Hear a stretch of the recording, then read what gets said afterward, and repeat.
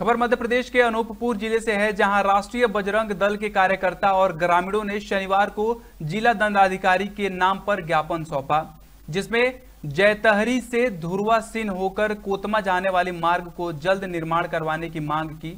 जानकारी के अनुसार मार्ग की मार्ग की स्थिति बहुत ही खराब है। बताया जा रहा है कि इस मार्ग पर हैवी हैवी गाड़ियाँ चलती हैं, जिसके कारण सड़कों की स्थिति बेहद खराब हो चुकी है। ग्रामीणों को उन सड़कों पर चलने के लिए कड़ी मशक्कत करनी पड़ती है। कभी कभी एंबुलेंस भी समय पर नहीं पहुँच पाती है। ऐसे में ग्रामीणों का जीवन अस्त व्यस्त हो चुका है। वहीं ग्रामीणों और कार्यकर्ताओं का कहना है कि यदि जिला प्रशासन हमारी जायज़ मांगों पर अमल नहीं करती है तो हम लोग आंदोलन करेंगे। अनूपपुर से संवाददाता ओमकार सिंह की रिपोर्ट। आज किस संबंध में आप लोग ज्ञापन सौंपने आए हैं कलेक्टर कार्यालय? ये जेतहरी से दुर्वासिन मार्ग की हालत और 10 साल से जर्जर स्थिति में है।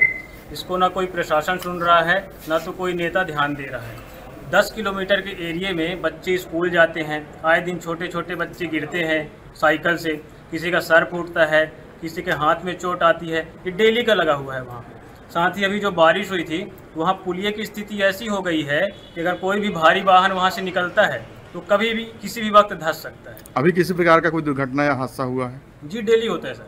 डेली डेली छोटे बच्चे जो स्कूल जाते हैं क्योंकि हर कदम पे गड्ढे हैं तो गड्ढों की वजह से, अगर लेट होने की वजह से बच्चे स्पीड में साइकिल भगा के गए, या फिर आपातकालीन स्थिति में किसी को सांप काट दिया कोई इमरजेंसी सुविधा हो गई तो उसके लिए अगर जाते हैं तो वहाँ पे पहुँचने से पहले वो दुर्घटना में मर जाएगी।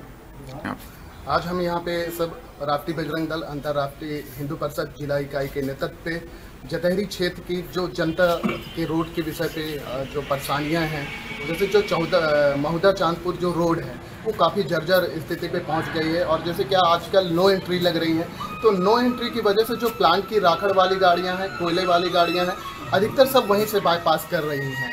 और जो कि हमने कितने बार पूर्व में भी सूचना जनप्रतिनिधि शासन प्रशासन को दिया लेकिन आज दिनांक तक कोई कार्रवाई नहीं हुई।